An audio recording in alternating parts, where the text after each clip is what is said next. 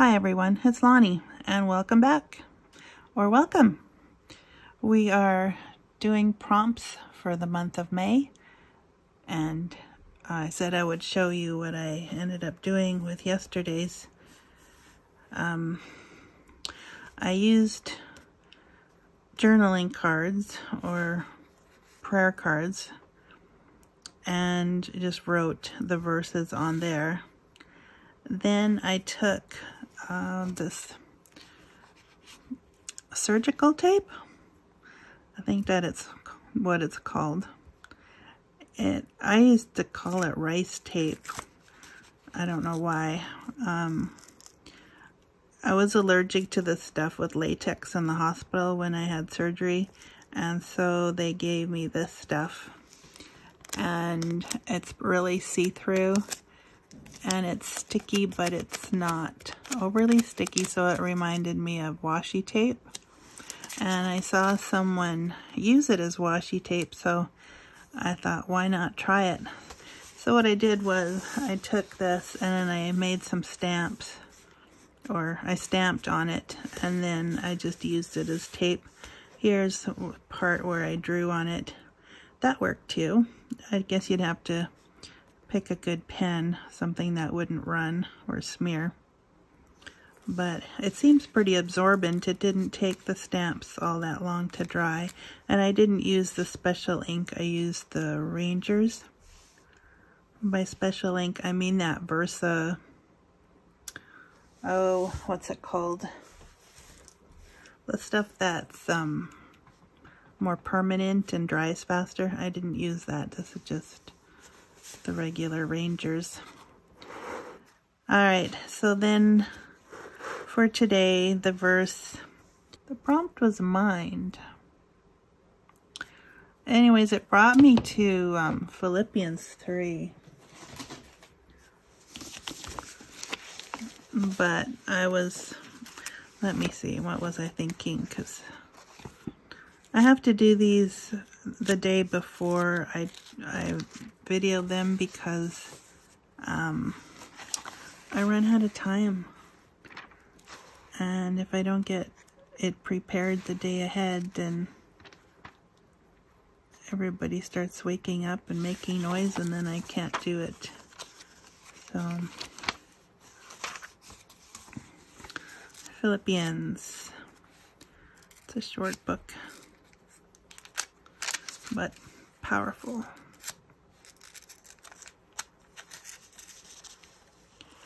I think I was to work with the word mind.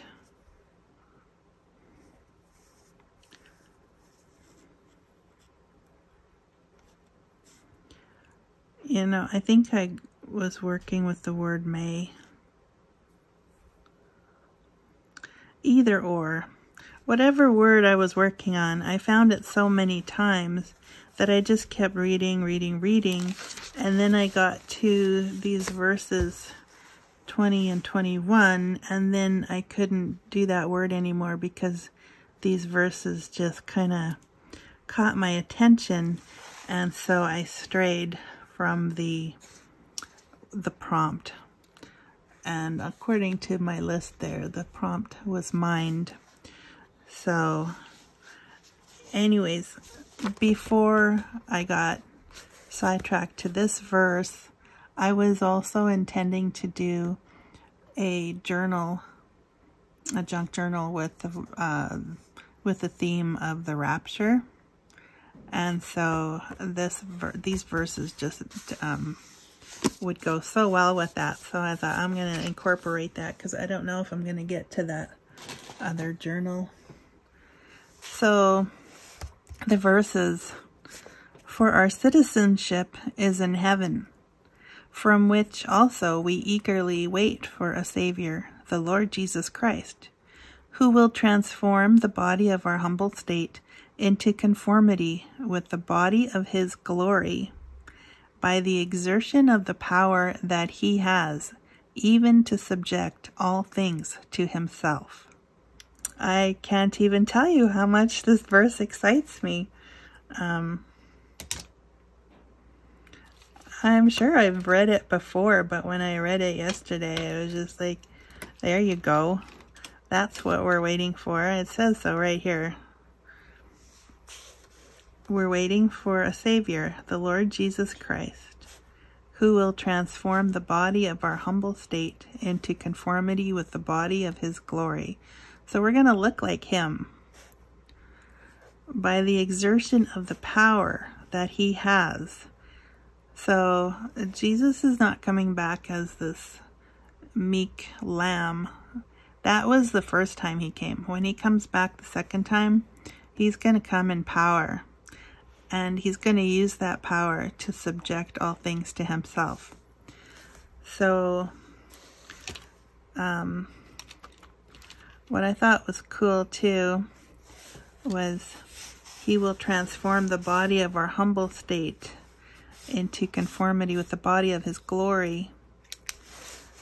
Right now, the bodies we have are corruptible but Paul states it this way that we will uh, rise or be transformed into the incorruptible. We will put on the incorruptible, and Jesus will do that when he comes for us. And that's not the second coming, that is when he comes to receive his bride to himself. As he states in John chapter 14.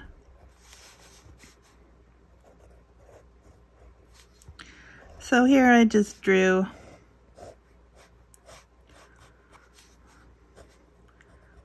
just wanted to draw because I was thinking of transformed, being transformed into his image. So we're going to look like him. We're going to be like him. And it's going to be wonderful.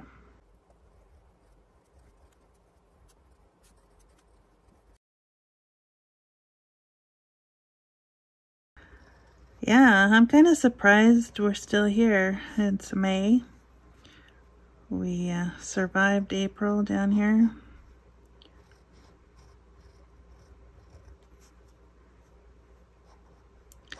So, we live to glorify the living Jesus until he comes for us. I think we're close. When I see all the things going around or going on around us, we have to be close because this world is getting really can I say bonkers?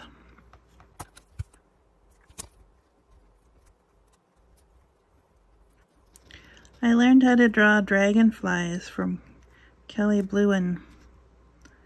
I've mentioned her before. She's a C Zentangle certified. Let's try that again. Certified Zentangle teacher. She has a channel on YouTube called Kelli Blouin and um, yeah, so I've learned how to draw some things, including the uh, butterfly. I'm not copying her exactly. I do put my own tangles in, or doodles.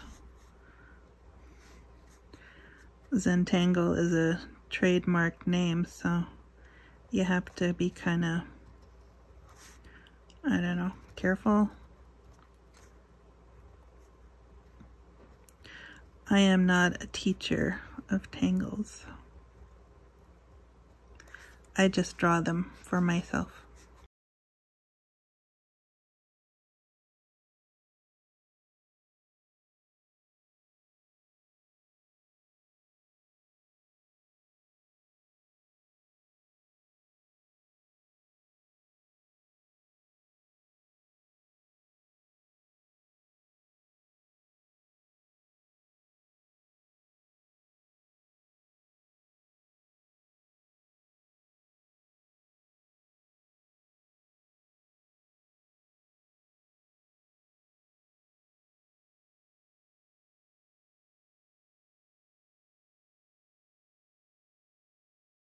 So that's that page. And just a reminder that it's perfectly fine to go off the prompts. Um, they're just meant as a guide and the reason they exist is to get us into the word. So if we're in the word looking for the prompt word and the Holy Spirit directs us to a different portion of scripture, by all means be obedient to that. And do share what you get um, when you're working on these. Um, post them in the comments. Would love to read them. And we can encourage each other again. So with that, I wish you a great day and thanks for tuning in. We'll catch you next time. Bye-bye.